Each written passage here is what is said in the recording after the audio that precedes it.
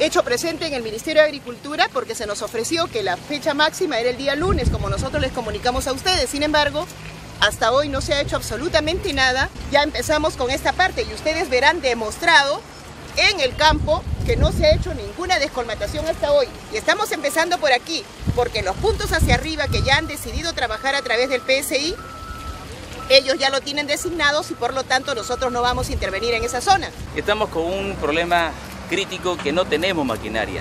Por eso es que directamente hacemos un llamado, un pedido. Necesita Chimbote el apoyo del presidente Ollantumala porque los ministerios nos están paseando, nos están mintiendo.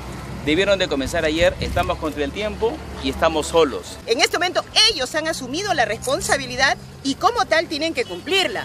Así como ha destinado millones a Arequipa, millones a otros lugares, pues que también a Tumbes, a diversos lugares. ¿Qué pasa con Chimbote? ¿Que somos el, el patito feo del país? No, señores, vamos a exigir y vamos a hacernos presentes para que el gobierno y el presidente tomen en cuenta a Chimbote. Y todos ustedes saben que la región tampoco, igual que los municipios, no tenemos maquinaria.